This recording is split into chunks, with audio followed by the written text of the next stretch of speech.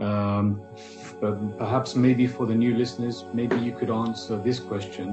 Why do you hold the opinion that Gog and Magog have already been released in the world, despite there apparently being clear narrations that they will be released after the descent of Isa I have written a book on this subject, and uh, they know my views already.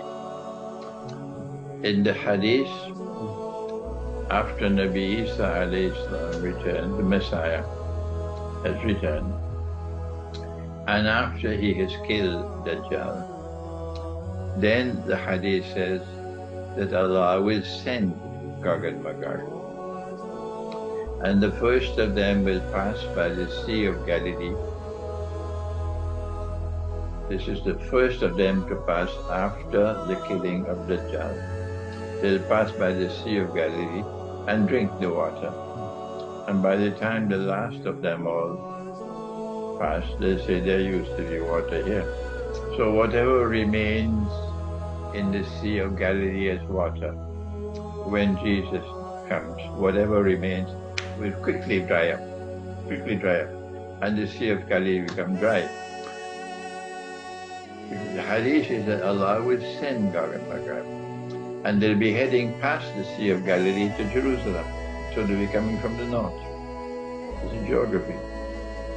And Allah will destroy Gog and Magog in Jerusalem. So Gog and Magog have a destiny connected with Jerusalem because Allah will destroy them in Jerusalem. Now we leave Surah Al-Kahf and we go to Surah Al-Anbiya. And in Surah Al-Anbiya, we have a different word, not ba'atha, futihat. Futihat is to release, ba'atha is to send. We are more concerned with the word futihat because Zulkarnain built a barrier and it has to be north of Jerusalem. And on one side there is the sea, the Black Sea, Ainun Hamiyah, uh, Imam uh, Ibn Kathir recognized it in his tafsir as the Black Sea. And on the other side is the Caspian Sea, and between are the Caucasus Mountains. And, in, and that's where he built the barrier. And when he built the barrier, Gog and Magog could neither penetrate nor could they escape. They can't be angels because they commit fasad, angels don't. They can't be jinn because jinn could fly over the barrier, they could pass through the barrier. So therefore the only other creatures created by Allah are human beings. Only human beings. So Gog and Magog are human beings, but they are human beings who have a power that even Zulkarnain could not resist. He cannot destroy them. So they are the most powerful people that mankind will ever witness in history. And when they are released, Allah bring down the barrier. A people who are human beings, who have a power unmatched in history, not even Zulkarnain can match their power, but who use their power to commit fasad. These people are released by Allah. And when they are released by Allah, then says Surah Al-Anbiya, a people who belong to a town, a town which was destroyed by Allah.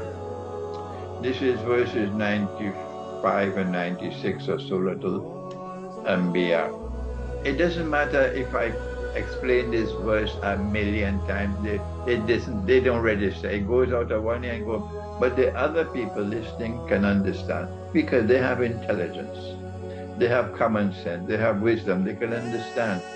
A town which is destroyed by Allah.